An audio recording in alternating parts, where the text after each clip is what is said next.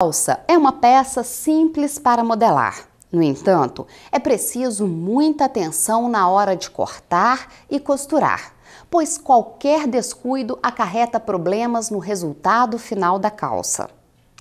Para evitar erros na confecção personalizada, é preciso que você faça a tomada de medidas da cliente com bastante cuidado. Para a confecção de calças, você vai utilizar as medidas da cintura, do quadril, dos ganchos, o comprimento total, a altura e a largura do joelho e a largura da barra. Comece amarrando um cordão em volta da cintura para marcá-la corretamente.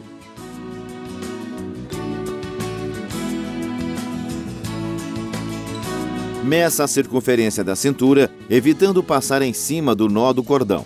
Não aperte a fita, nem a deixe solta demais. Meça a circunferência do quadril na parte mais saliente.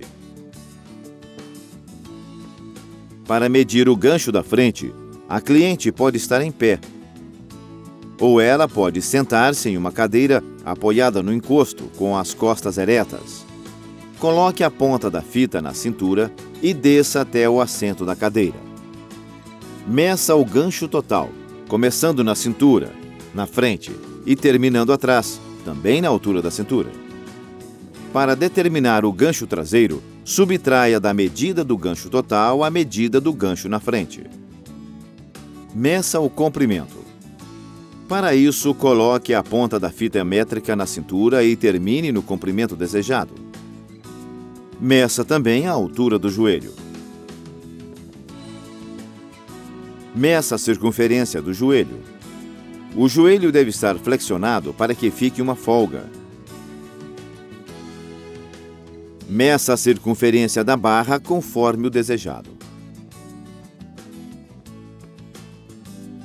Para a calça cigarrete, é preciso levantar o calcanhar e testar se a largura é suficiente para passar por ele.